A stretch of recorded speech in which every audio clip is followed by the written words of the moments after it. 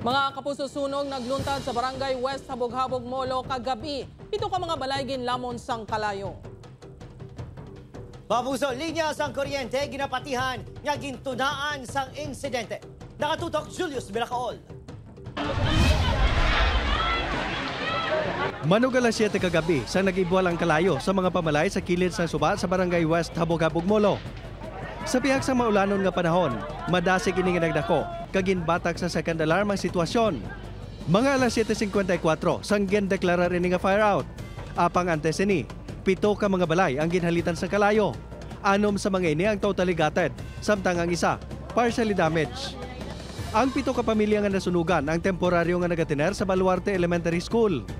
Isa sa mga ini si Manang Beverly, ang tag-iya sang balay kung sa di nagsugod ang kalayo. Nagapati ini nga kuryente ang gintunahan sang insidente sa kwarto sang iya anak. Tapos ginpukaw niyang isa ko pag kalalaki nga anak kagakatulog nga niknik din awaan eh ang sa kwarto kay may aso nga nagagwa. Ginbuksan sang akon bata nag ano dayon ang aso nagwa nagimbuok dayon nakita niya nga may kalayo. Ang kaingot ni Beverly, wala sa ila balay sa nagluntad ang insidente. Pareho sa iya, wala man ini sang nasalbar nga gamit. Way na gid, zero gid. Wala kami may salbar, kay katalikod lang kami, kadasig lang. Base sa investigasyon sang Bureau of Fire Protection, naglabot sa 500 mil pesos ang halit nga gintuga sa sunog. Ang BFP, may panugya naman sa publiko agod makalikaw sa sunog, nga tugas ang koneksyon sa kuryente.